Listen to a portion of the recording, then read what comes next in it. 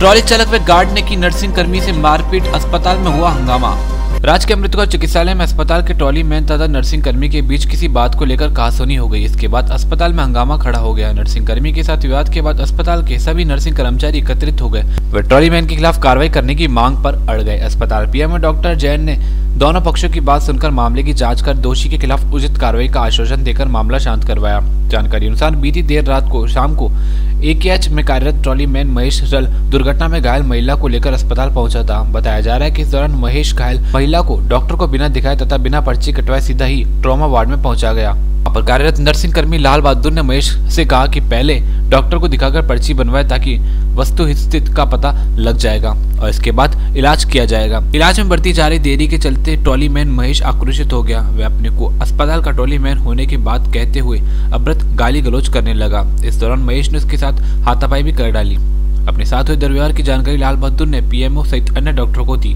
मौके पर पहुँच पीएमओ डॉक्टर एम के जैन ने नगरम की जानकारी ली तथा पीड़ित लाल बहादुर से संबंध में लिखित में शिकायत देने की बात कही, जहाँ उसने टोली मैन तथा अस्पताल की गार्ड भवानी के खिलाफ लिखित में शिकायत दी। घटना की जानकारी मिलती सिटी थाना पुलिस भी अस्पताल पहुँच गई क्या मामला मैं राउंड करा था डॉक्टर साहब का अरविंद जी क्या नाम ऑर्थोपेडिक वाले का। और इधर से पेशेंट का एक रिपेयर करके मैं राउंड करा के वापस ओटी की तरफ़ जा रहा था।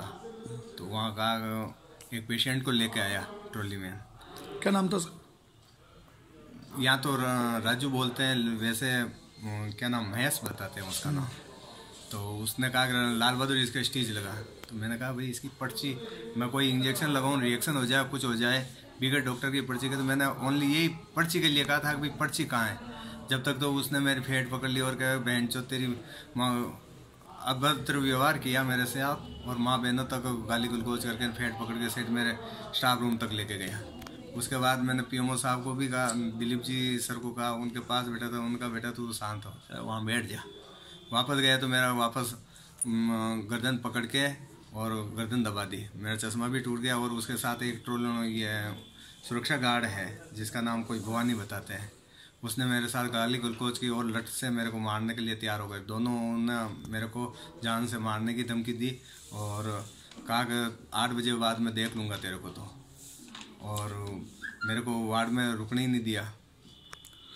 पीएमओ साहब क्या कहना है? पीएमओ साहब ने कहा कि भाई आप एप्लीकेशन लिखो, मैं फॉरवर्ड करके दे देता हूँ, इसके होगी जो आवश्यक कार्रवाई की जाएगी। इस संस्थान के अंदर एक ट्रॉली मैन था, महेश रत्नू करके, वो अपनी वाइफ के कोई चोट लगी होगी, उसको लेकर के और सीधा ट्रॉमा वार्ड में चला गया। ट्रॉमा वार्ड का जो स्टाफ था, उस वक्त कार्यरत, उसने उन्हें कहा था कि पहले किसी डॉक्टर को दिखा के और पर्ची पे लिखवा के ले आए और उसके बाद में मैं टाँके लगा दूँगा।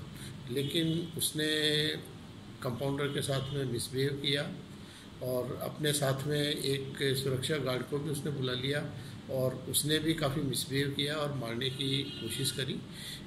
इस कारण से, और उसके बाद में ये लोग भाग करके और मेरे पास में आए कंपाउंडर वगैरह। दूसरा स्टाफ भी मेरे पास में आ गया।